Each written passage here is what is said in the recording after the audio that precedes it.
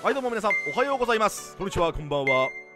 ジャックアトラスです。さあ本日なんですが、えー、この輝ける星の竜というモンスターが診断で実装されましてこれめちゃくちゃ面白いカードなんでこれを今日は使っていきたいと思ってます。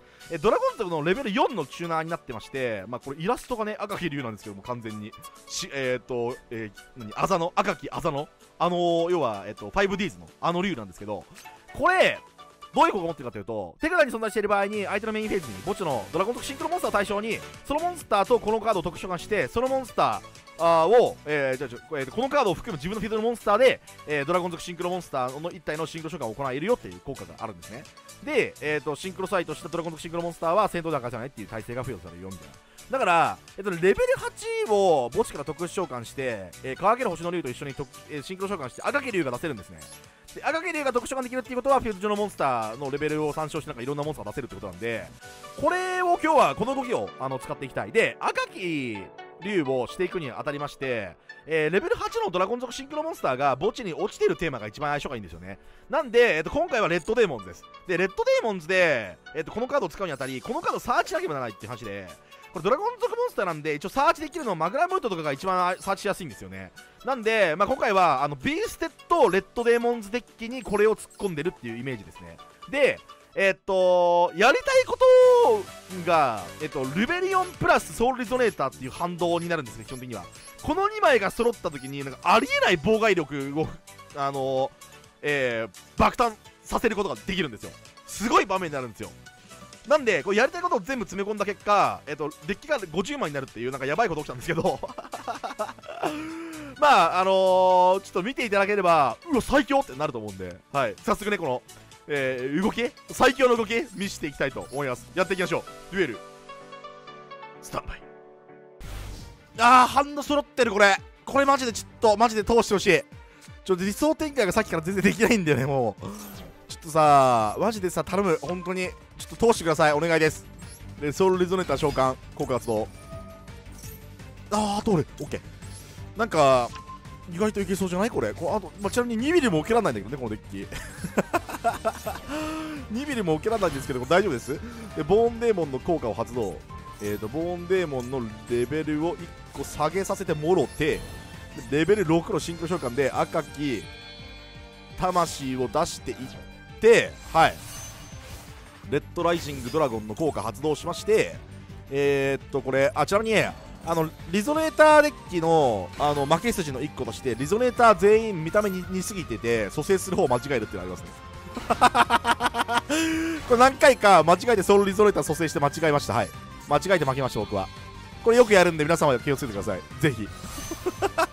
やんないから大丈夫かみんなちょマジでさ見た目似すぎてんだって。全員。リゾネーターマジでもうちょっと個性出せよ。没個性すぎるだなこいつら。でクリムゾンリゾネ、えー、ヘルガイアの効果発動。あまりにもさなんかイラスト似すぎてもうソウルリゾネーターとなんかクリムゾンリゾネーターとか一番やばいからな普通に。パッと見たち同じだからな。でえー、っとこれアビス出しましょう。でレッドデーモンアビスバックダウンうわーかっけえそしてえっとまあこれチェンジュンなんかなんもなさそうだどっちもいいや。ちょっと2ビルなさそうですねこれ。来ましたねこれ。これ来ましたわ。これじゃあです。マジでね理想展開見せれる可能性ありますよマジ。これ一応と全部通ったらクソ強い展開できるんで。ちょっとねそう見せていきたい。でスカーレットデーモンからのえっとレッドデーモン特殊でしょ。レッドデーモン特殊からのえっとビジョン特殊で一旦ベリアル出してうわ泰山明道がどうのこうの。レッドデーモンベリアル。さらにえっとここで闇属性のチューナーを除外することによってえっとマグナムビートセイバー出してで、えっと、マグナムビートセイバーの効果でエンドフェイズにドラゴン族サーチ。アンド、えっと、ベイセットルベリオンでマグナムートリリースして特殊召喚。でレベルが、えっと、8なので最強といったところですね。で、えーと、ザ・ベイセット・リベリの効果を発動して、えー、福楽院を置く。そして、えー、レベル8の、えーと、ベイセット・リベリオンにクリムゾン・リゾネーターをチューニング。シンクロ召喚。現れよ。ベイセット・デスパテル。ディスパテルの効果を発動。デスパテルの効果によって自分の除外ゾーンの、えー、とビジョンを特殊召喚。そしてレベル10のベリアルにレベル2のビジョンリゾネーターをチューニング。うわ新規の召喚。現れよ。実質レッドデーモン。センチュリオンアクシーラ効果発動。これによってセンチュリオンカードを1枚を手札に加えることができる。さらにスタンドアップセンチュリオンの効果を発動。スタンドアップセンチュリオンの効果によって手札を1枚ぶん投げることによりデッキからセンチュリオンモンスター1体を、まあえー、永続トラップカード扱いで置くことができるぜ。えっとこいつは大丈夫だ。これこっち置いてそしてセンチュリオントゥルーディアの効果を発動。トゥルーディアを前に出してレベルを変化。そしてトゥルーディアが引っ込んで、えー、デッキからプリメラを置いてそしてプリメラの効果これちょっとあれだねファランクス引いちゃってるか微妙だねこれね。ファランクス引いてなかったらこれファランクスサーチが入りますこれ。でえっとセットセット。これが最大展開。でエンドフェイズサーチ。もちろんサーチするのはそう。来い。輝ける。星の竜。さあお前のターンだ。これが最強なんですよ。マジで。これが一応あ新規レッドデーモンのルベリオンプラスソウルリゾネーターからあ出力される最大出力。これ一応理想展開できました。これ妨害数えげつないですこれ。正直。ウルカニクス何援護費ウルカニクス。いいだろう。まあこれちなみにえっとモンスター枠足りないので。モンスター枠足りないので福楽院使うタイミングはマジで考えてください。えー、まずはレッドデーモンズドラゴン扱いのスカーレットデーモンを墓地から特殊召喚し輝ける星の竜は墓地のモンスターと一緒にシンクロ召喚をすることができる。うわー！絡みつく時間振り切って限界までぶっ飛ばしてギリギリの思いつないだら行くのさマイウェイ。はい、えー、ウルカニクス破壊どうぞ。ウルカニクス破壊で持ってくるやつですね。いいでしょう。赤き竜のこれちなみにメインフェーズしか打ってないんであのー、効果が。これがうざいですね非常に。さあレベル8になった。でウルカニクスの効果とえー、っとこれ違う。違う違う違う違う。お前の効果もいらない。でえっと赤き竜の効果を発動。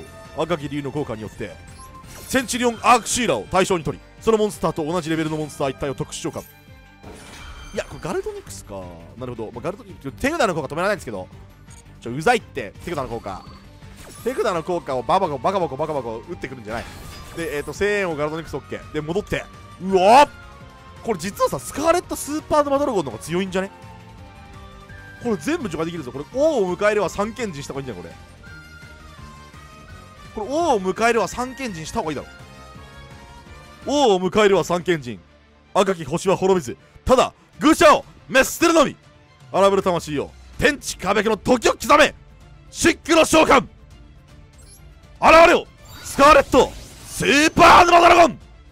ごめんちょっとあのシンクロ召喚工場長くてあのー、待たしたな。来たわこれマジで。スカーレットスーパードマンマジ強いからねこれちなみに。これあの相手のモンスターの効果発動するとあの自分と相手のフィールド上のカード全部除外します。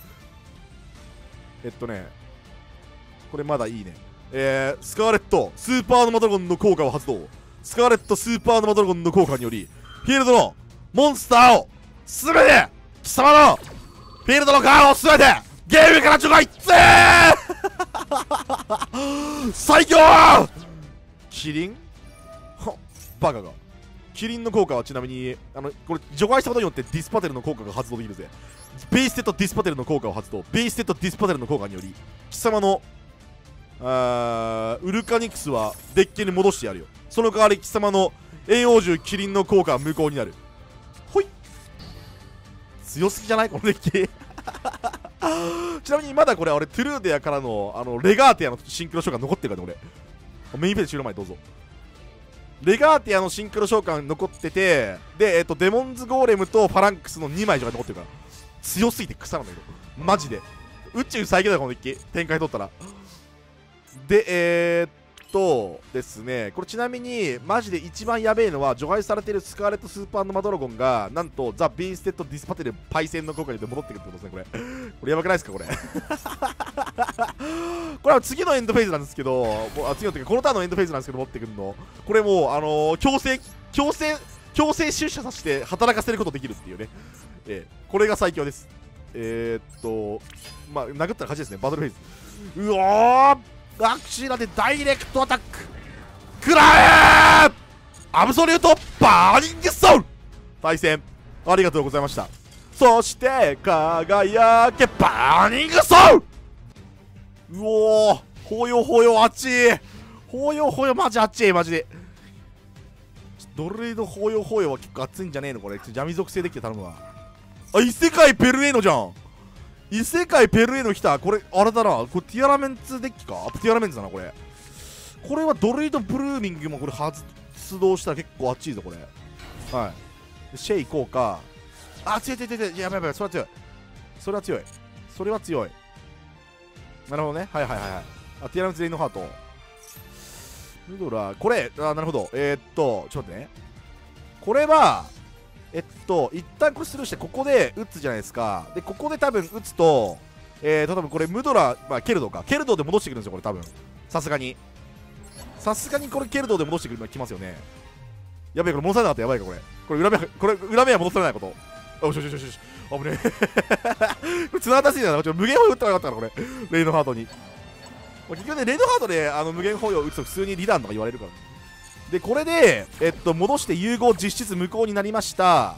でこうなってくると多分これエエクシーズとかするしかないんですよね。リダンとかで。でそうしたらこれ無限保養が刺さるという話。はい。ああそういうことか。それできるのが強いな。なるほどね。でシェイレーンが爆破されて効果発動する。ああなるほどね。はいはいはい。これで強引に融合してえー、っとキトカロスが出てくる。はい。で無限保養ぶち込むと。分からせよ。完璧じゃない？これ、ま、あの言うはずの当て方。相手の動きまで完璧に計算に入れた天才の案これ。こう。でこれでこう。よし。でこれでさらに追加してなんか融合してくるようだったらそのもう出てきたモンスターに、まあ、無限保養打ってから展開すればいいんだ。こっちのターンね。神ですねこれ。はい。およそ最強と言っていいこれは。よし。シャシャシャシャシャシャシャ誘発の打ち方プロだった。かかなり。コールリゾネーターかなるほど。コールリゾネーターは強いな普通に。まあ、ちょっと一旦えっとストーンスイーパー、これ特殊召喚できるの草。えっ、と、コールリゾネーター、えー、効果発動。コール効果、えっ、と、ソウル持ってくる。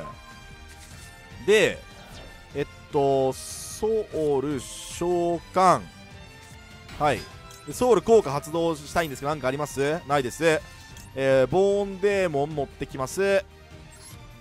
これやっぱね、あれだよね。あの、このボーンデーモンのとさこのやっぱビジョンリゾネーターのねこのこれが美しいよねやっぱりね。非常にね。このなんか無駄のないこのコストを無駄にはしないというこれこれね。で、えーと、ビジョンリゾネーターをコストにして特殊召喚してビジョンリゾネーターがコストとして送られたのでこれなこれマジ美しいよなちなみにね、あのこれであのムドラケルドを送るとかそういう犯罪みたいな動きもできますけどね。はい、で、えっと、クリムゾンリゾネター墓地を送ってレベルを下げていく。そしてレベル3のボーンデーモンにレベル3のソウルリゾネターをチューニング。うお、シンクロ召喚、現れよレッドライジングドラゴン。レッドライジングドラゴンのモンスター効果。自分の墓地の、えっと、クリムゾンリゾネーターを特殊召喚。そしてクリムゾンリゾネーターのモンスター効果。クリムゾンリゾネーターの効果による自分のデッキからチューナーモンスターを特殊召喚。キュイキュイほいほいそしてえー、とスカーレットデーモン、えー、レベル6のレッドライジングにレベル2のビジョンリゾネーターをチューニング。シンクロ召喚。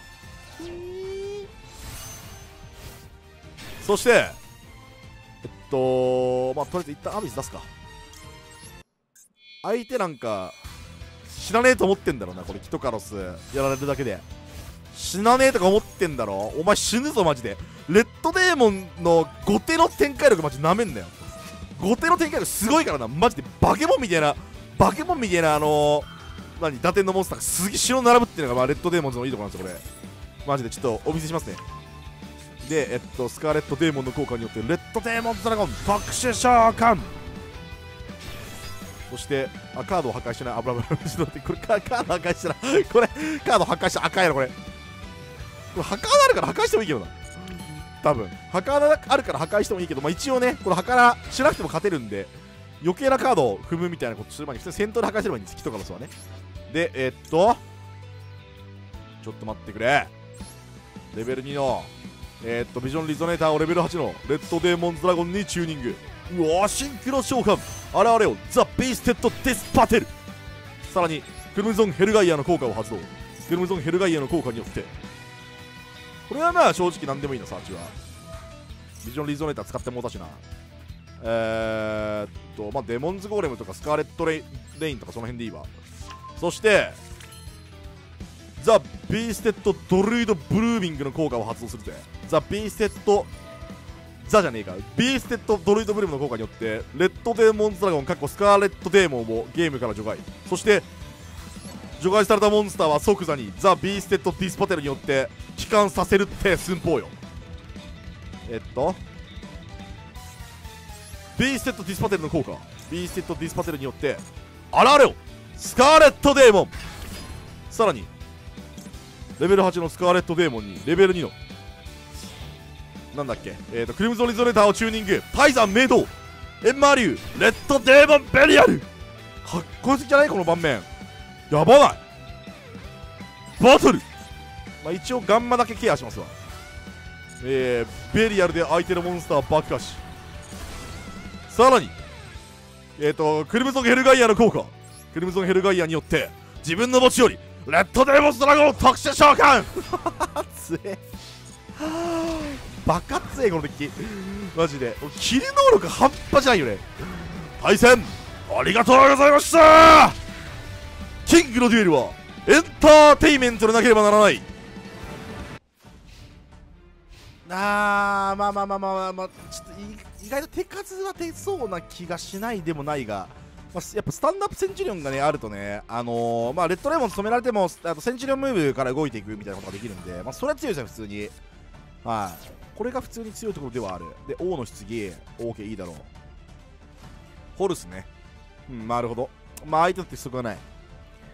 ホルス君ちょっとあれなんだよね、あの対象取らない効果で破壊されないっていうさ、記名効果あるからさ、王の棺。だから、クリムゾンヘルガイアの、なんか、あの、ぶっ破効果があんま効かなくてうざいんだよな。